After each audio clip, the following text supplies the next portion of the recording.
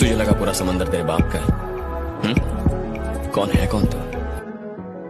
जिसमें जिगर है ना, उसे कोई नहीं रोक सकता। तेरे जैसे कई आते हैं और चले जाते हैं। तुझ जैसे कौए हमारी उड़ान नहीं रोक सकते हम तुझे किसी के साथ की ज़रूरत नहीं।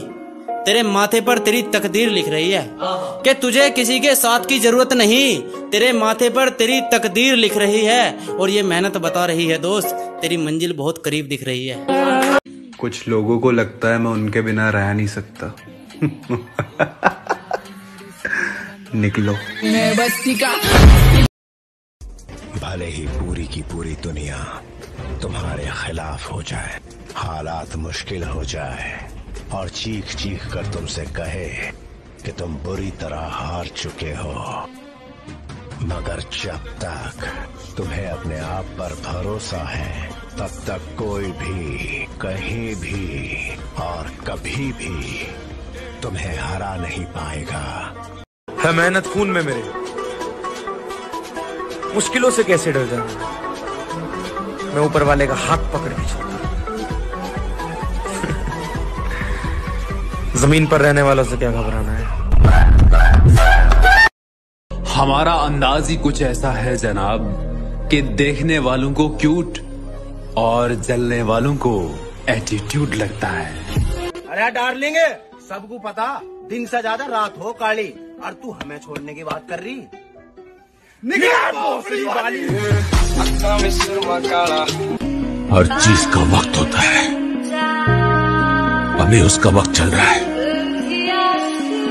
हमारा वक्त आने दो। मिलूँगा ज़रूर। लेकिन अभी नहीं। क्यों कह रहा हूँ? हम जिम वाले थे लड़ने की मत सोचियो।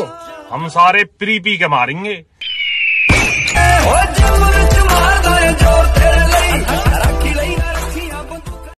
लोगों का ताना खरीदना है। एक दिन पूरा जमाना खरीदना है। जवाब बन जाएँगे हर उस सवाल का जिसने मज़ाक उड़ाया था मेरे हाल का। मेहनत को मज़ाक नहीं मज़ा बना के रखो। तभी तो अपनी ज़िंदगी अपने हिसाब से जी पाओगे। घड़ी तो पैन नहीं रखी कोई पर सच कह रहा हूँ टाइम आने वाला है अपना। ये जो लोग दूसरों के सक्सेस होने पे बोलते हैं ना कि तुम्हारी किस्मत अच्छी थी तो बेटा किस्मत अच्छी नहीं थी उनकी मेहनत जानलेवा थी। अब मुझे किसी से कोई उम्मीद भी नहीं है कि मेरी मेहनत पे आके कोई मेरे लिए तालियाँ बजाए क्योंकि बहुत करीब से देख लिया कि बिगड़े को संवारने के लिए बहुत कम और मेहनत पे मूतने के लिए बमा बम आते हैं लोग। अगर 20 से 25 की उम्र में तुम्हारे सपने तुम्हें सोने ना दे तो समझो ज़िंदा हो तुम। अगर 20 से 25 की उम्र में तुम्हारे सपने तुम्हें सोने ना दे तो समझो ज़िंदा हो तुम। और इस उम्र में तुम चैन की नींद सो रहे हो तो पता नहीं क्यों ज़िंदा हो तुम।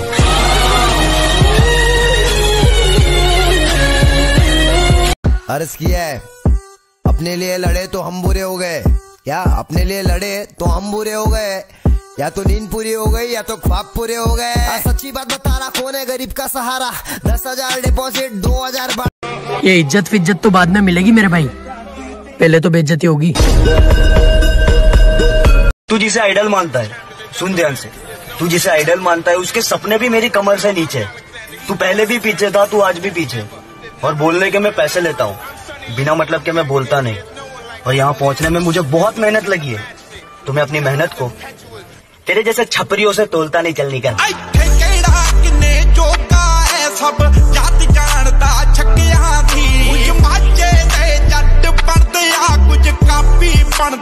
बाहर वाले क्या कहते रिश्तेदार क्या कहते छोड़ दो।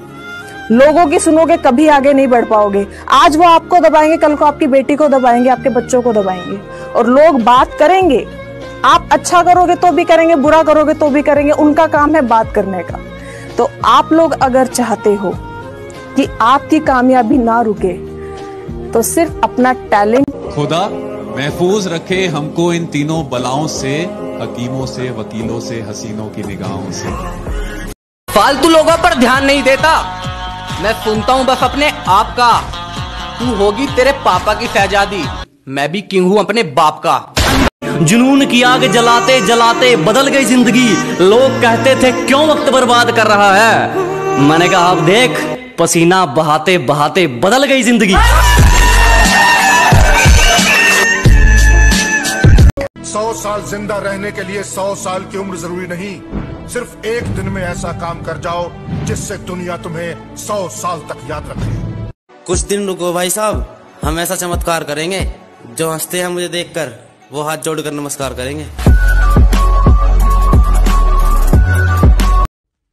ये दुनिया वनिया बदलने का सपना छोड़ ब्रो और खुद पे ध्यान दे। फिर ये दुनिया का तो पता नहीं पर हाँ तेरी दुनिया ज़रूर बदल जाएगी। उन लोगों की सोच के मुझे बहुत हँसी आती है जो कभी मेरी हार पर हंसा करते थे। खुद के सपने के पीछे इतना भागो कि एक दिन तुमसे मिलना लोगों का सपना बन जाए।